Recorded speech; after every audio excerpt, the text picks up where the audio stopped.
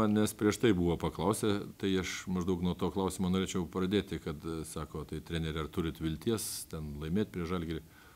Mano ir, ir komandų darbas nėra toksai, kad galvoti, jeigu nelaimėsi tų varžybų dar. Aš galvoju, noriu tai pasakyti, kad Žalgiris savo uždavinį sprendė, jie galvoja apie finalinį ketvirtą, apie Eurolygos varžybas.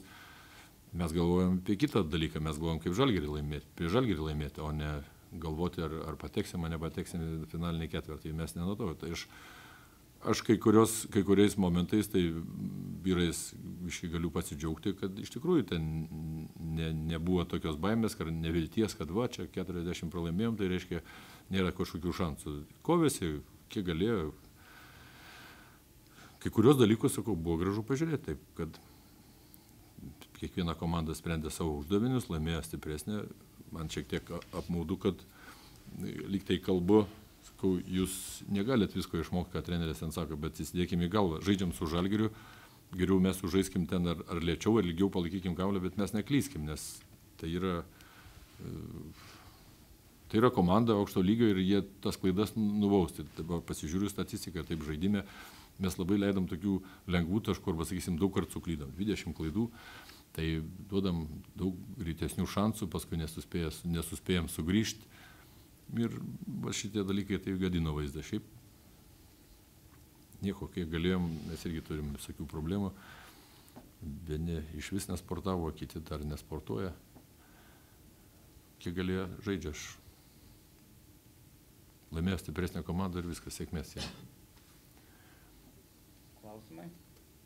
Trenerį galima sakyti dabar.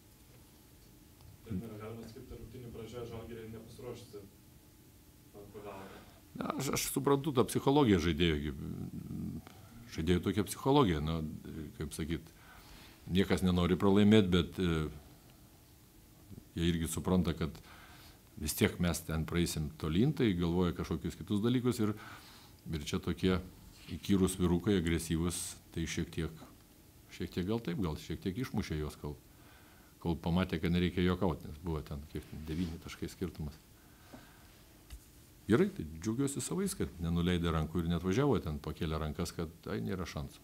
Ta, ką jau sakiau pirmam sakinį, kad žaiskim ir galvokim apie savo darbą.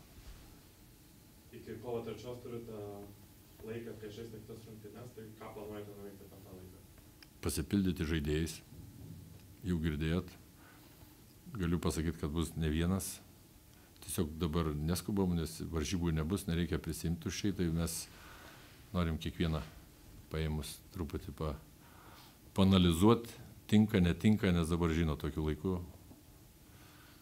Arba pataikysi, kur kokį pabėgusi zuikį, kur netikusi kitoj komandai, arba nepataikysi, tai, tai va, tai turim pasipildyti, turim, turim įsigydyti traumas, bėdas, visi čia skundžiasi vyrai, viskas yra laiku, vidury sezono, vien iš tos pusės, gal kam nepatinka, kad čia dėl rinkinės tos pertraukos, bet kada yra žaidėjai, kurie vos belka kojas arba ten su vaistais eina aikštelę, tai mums labai gerai. Iš to papildymo turbūt vienas bus atakuojantis gynėjas ir žaidėjas, žaidėjas turbūt? Nu, visas paslaptis norit sužinoti jau čia iki galo. Ir kokį? Koks kitos būti? Pamatysit. Galiu paklausti taip, kaip atrodo? Nu, kokio trūksta? Statistika. Galbūt. Reiškia, suprantate apie krepšinį gerai, ne tik apie žurnalistiką. Ką jūs turite prognozuojate finaliniam ketvirtį jau dabar?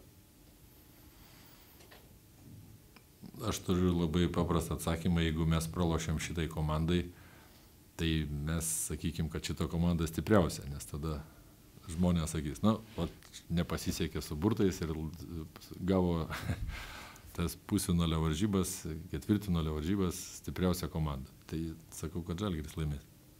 Labas vakaras.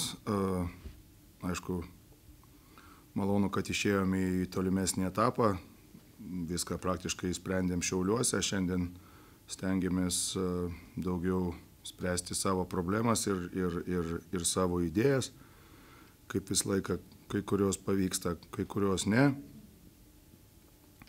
Bet, e, žinote, svarbiausia buvo įvesti irgi žaidėjus, kurie galbūt buvo raumuoti, jaunimą ir svarbiausia, kad einam toliau. Turbūt per tą karalius Mindaugo turės savaitę, visa savaitė yra svarbi, tai kokia yra savaitės pradžios ženklai komandoje, kaip atrodo viskas. Ženklų kaip ir nėra jokių, jeigu sąžiningai. Vieni ilsisi, kiti stengiasi sugrįžti po traumų. Sakau, daug kas galvoja, kad uh, savaitgalį žaidėm be žaidėjų, kurie yra, kuriem buvo leidžiama pailsėti, tai ne. Taip nebuvo, jie turi problemų. Ir stengiamės, kad jie išsigydytų, o, o šiandien taip, trys žaidėjai. Nežaidė, nes jie, ko gero, šiame sezone visumoje žaidė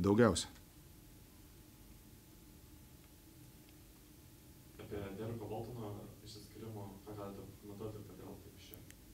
Uh, labai gaila, kad vidury sezono žaidėjas palieka mūsų komandą. Tikrai esam, nesam iš tų sistemų, kurios uh, labai daug keičia kažką vidury sezono, bet, bet ne iš gero taip įvyko. Uh, taip gavosi, kad uh, jo minutės vis mažėjo, o atsirado klubas, kuris norėjo, kaip sakant, sumokėti visą likusį kontraktą, taip kad e, klubas manęs paklausė, aš, aš nebuvau tam prieš, taip ir, taip ir gavosi, sakau, bet išsiskyrėm tuo bendru sustarimu, abipusių sustarimų ir, ir tikrai galvoju, kad jisai gali būti geras žaidėjas ateityje, bet sakau, todėl ir nelabai noriu imti žaidėjų į savo komandą be, be to be patirties Europoje, bent jau kažkokios, kad suprastų, kur jisai atvažiuoja, kaip čia sunku yra ir, ir toliau galvoju, kad jisai gali būti puikus žaidėjas ir, ir tikrai jam to linkiu ir labai gaila, kad būtent tai nepavyko Kauno Žalgeriai. Ką Jūs manote apie tą sprendimą pasikviesti į finalinį ketvirtą teisėjus iš užsienio iš Eurolygos? Sprendimas įdomus, galvoju, visų pirma reikia pasakyti tiek, kad a,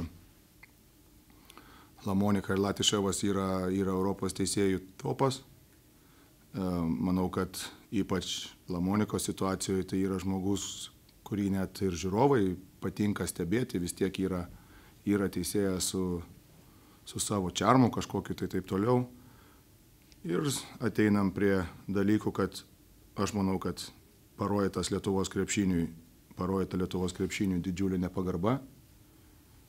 Uh, ypač šiais laikais, kaip Lietuvos teisėjai yra išgyvena tikrai aukso, aukso amžių, aš galvoju, kad yra, čia ne mano nuomonė, bet jūs matote, kiek teisėjų teisėjauja FIBA čempionų lygoje aukščiausiuose susitikimuose, mūsų du jauni teisėjai kartu su vienu vyresniu teisėju kiekvieną savaitę važiuoja teisėjauti Eurolygas ir gauna labai svarbus mačus. Dar yra, mano manimu, du labai geri perspektyvūs jauni teisėjai, kurie tikrai prasimuš, e, kur jie norės, sakysim, ar į Eurolygą, ar į, ar į, ar į čempionų lygą. Taip, kad aš manau, kad e, labai, labai blogas sprendimas. Visų pirma, sakau, yra didžiulė nepagarba rodoma mūsų, mūsų krepšiniui, mūsų mentalitetui.